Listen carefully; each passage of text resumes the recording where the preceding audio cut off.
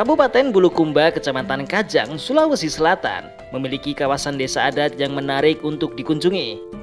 Tak melulu soal keindahan alam di sekitarnya, tetapi juga soal tradisi yang masih terus dijaga masyarakatnya. Desa Kajang Amatoa berada di wilayah administrasi Desa Tanatoa, yang merupakan tanah tertua di dunia karena kepercayaan masyarakatnya. Desa ini menempati lahan seluas 331 hektar dan wilayahnya dikelilingi hutan tanpa jalanan beraspal.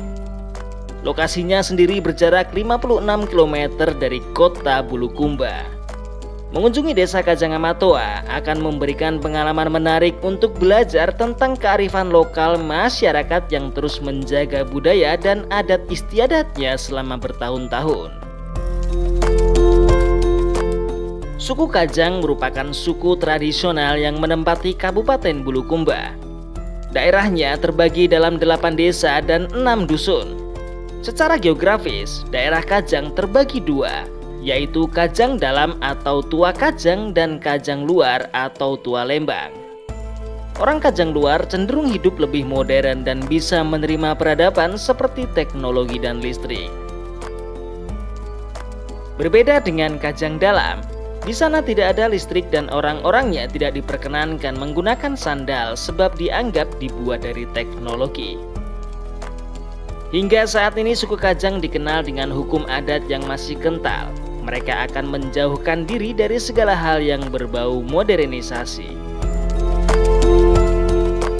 Pemimpin tertinggi pemangku adat Kajang ialah Amatoa.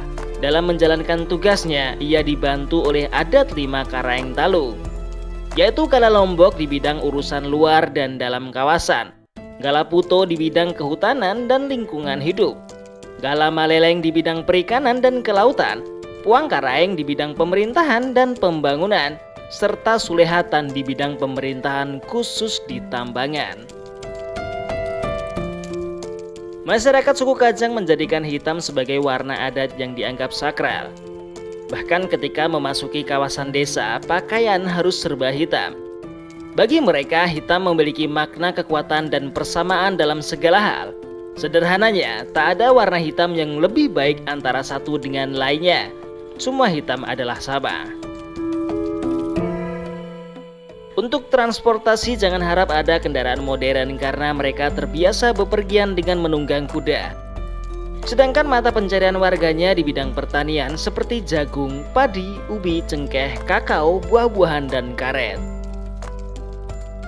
Sebagian besar masyarakat suku Kajang memeluk agama Islam, namun mereka juga punya kepercayaan adat yang disebut patuntung.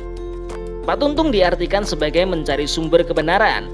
Bila manusia ingin mendapat kebenaran, mereka harus bersandar pada tiga pilar, yaitu Tuhan, tanah, dan nenek moyang. Desain rumah adat desa Kajang Amatoa terdiri dari dapur, ruang tamu, dan ruang tidur. Wanita yang masih lajang akan menempati ruang terpisah. Di lantai atas terdapat gudang yang disebut para untuk menyimpan bahan pangan seperti padi dan jagung. Bagian tengah rumah disebut kalebala yang berfungsi untuk hunian, sedangkan bagian kaki rumah disebut sirih dan fungsinya untuk kegiatan menenun, menumbuk padi atau jagung dan tempat hewan ternak. Dalam membangun rumah tidak diperkenankan menggunakan bahan batu bata atau tanah karena mereka percaya bahwa hanya orang mati yang diapit liang lahat dan tanah. Jika ada keluarga suku Kajang yang membangun rumah menggunakan batu, mereka akan dianggap telah mati oleh warga lain. Satu hal yang pasti, semua rumah adat menghadap ke barat. Bukan tanpa alasan, barat dianalogikan sebagai simbol dari keberadaan nenek moyang mereka. Semua bangunan pun dibuat sama tanpa perbedaan sedikit pun sebagai ungkapan keseragaman dan kesederhanaan.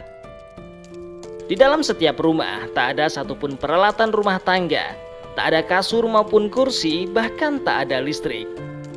Namun warga mendapatkan cahaya dari lampu yang terbuat dari kemiri yang dicampur kapas dan dibentuk seperti lilin. Bila ingin berkunjung ke suku Kajang Amatoa, pastikan kalian mengenakan pakaian serba hitam karena ini diwajibkan untuk mematuhi aturan. Untuk pria diwajibkan mengenakan ikat kepala dan tak mengenakan alas kaki.